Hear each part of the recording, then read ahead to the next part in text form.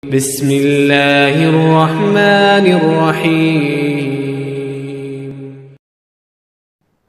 Data dari Komnas Perempuan tahun 2015, 2012 didapatkan data 259.150 kasus kekerasan terhadap wanita. 63 persennya KDRT kekerasan dalam rumah tangga. Pertanyaannya, yang selalu jadi korban cewek atau cowok? Yang selalu dikhianati cewek atau cowok? Yang selalu dibohongin cewek atau cowok?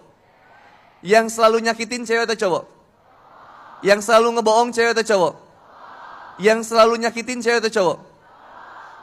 Sakit hati. Maka wanita tidak pernah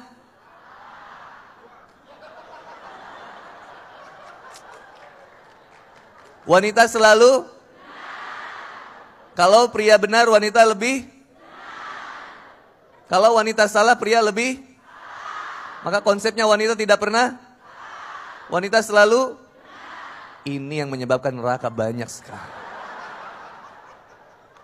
egois. Wanita lupa yang menjadi penyebab laki-laki melakukan tindakan kekerasan itu salah wanita juga. Jawab dengan jujur. Ketika suami istri makan bareng, kemudian suaminya bilang, "Sayang, malam ini kita mau makan di mana?" Terus wanita akan jawab apa? Hmm. Lalu akhirnya suaminya bilang, "Oh, ya udah, kita gimana kalau kita makan steak aja sayang?" Lalu kemudian wanitanya bilang apa? Nggak mau. Lalu suaminya bilang, ya udah, kalau gitu kita makan yang lain aja. Tapi kamu sebenarnya mau makan di mana? Maka wanita akan bilang, Terus suaminya bilang, ya udah kamu sebenarnya mau makan apa? Lalu wanita bakal bilang, pengen ngebacok nggak kira-kira? So,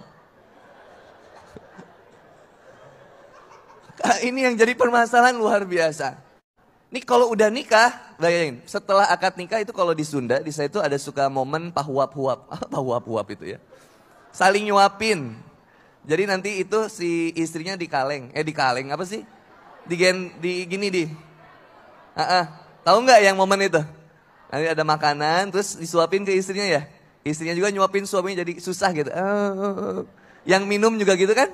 Kebayang nggak? Kebayang? Suami nyuapin istri, istri nyuapin suami tapi tangannya begitu. Kenapa hal yang mudah dibuat susah? Kenapa? Ini hal yang mudah, kenapa dibuat susah? Filosofinya sederhana. Karena di saat awal-awal pernikahan diajarkan sesuatu yang mudah dibuat susah supaya nanti perjalanan pernikahan sesuatu yang susah bakal dibuat mudah. Tapi nyatanya nggak gitu bunda.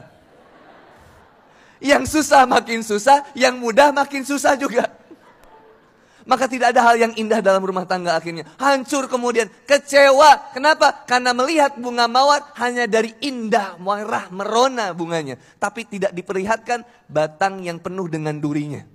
Kisah alegoris yang mengumpamakan bahwa ada indah bunga mawar di pertamanan, tapi ada yang menghinakan kaktus yang dengan sepenuh dirinya itu duri semuanya. Padahal dalam musim kemarau, kaktus menahan air yang begitu banyak untuk kemudian dia sebarkan kepada yang lain.